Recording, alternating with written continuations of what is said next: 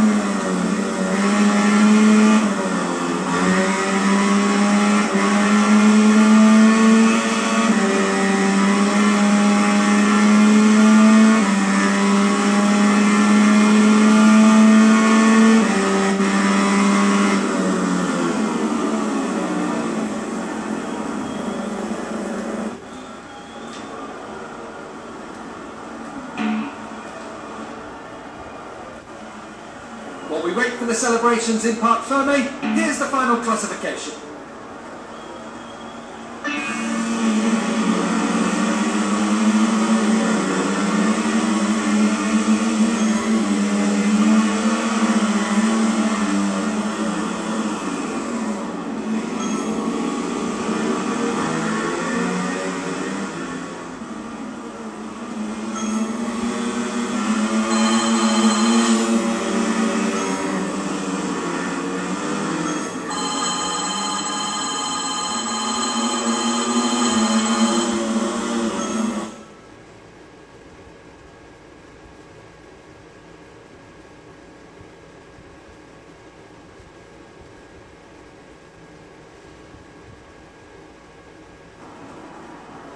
Well, he deserves these celebrations as his mechanics give him a big old cheer.